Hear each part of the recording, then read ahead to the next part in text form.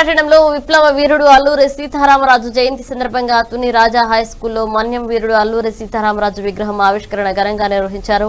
ముఖ్య అతిథిగా హాజరైన ప్రభుత్వ తుని ఎమ్మెల్యే దాడిశెట్టి రాజా అల్లూరి సీతారామరాజు చేసిన సేవలను కొనియాడుతూ అల్లూరి సీతారామరాజు చదివిన స్కూల్లో విగ్రహం ఏర్పాటు చేయడం చాలా అభినందనీయమని స్వాతంత్ర్యం రాకముందు మైదాన ప్రాంతాలలో పాటుగా గిరిజన ప్రాంతాలు కూడా అభివృద్ధి కావాలని అనేక ఉద్యమాలు చేసిన అల్లూరి సీతారామరాజును స్ఫూర్తిగా తీసుకోవాలని అన్నారు.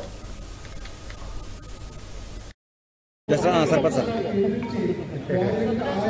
సమరయోధుడు అల్లూరి సీతారామరాజు గారు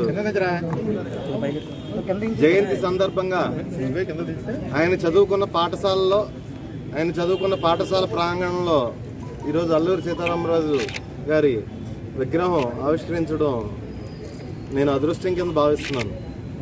ఆ రోజుల్లోనే మనకి స్వతంత్ర రాక పూర్వమే మైదాన ప్రాంతాలతో పాటు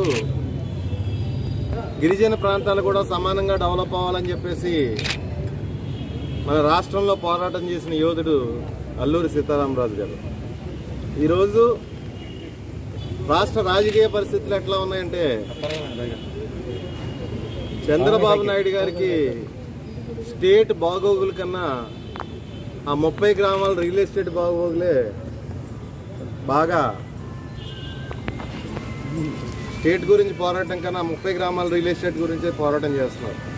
జగన్మోహన్ రెడ్డి గారు పెట్టి సంక్షేమ పథకాలు కృష్ణా గుంటూరు జిల్లా ప్రజలతో పాటు రాష్ట్ర వ్యాప్తంగా ప్రజలందరూ కూడా ఎంతో ఆనందంగా ఉన్నారు. తను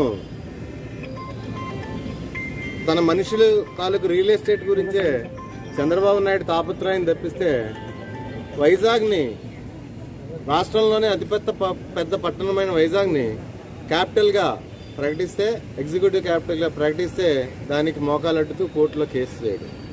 అలాగే న్యాయ రాజధానిగా కర్నూలు ప్రకటిస్తే దాన్ని మోకాలడ్డడు చట్టసభల రాజధానిగా అమరావతి ఎట్లాగా ఉంది మనకి.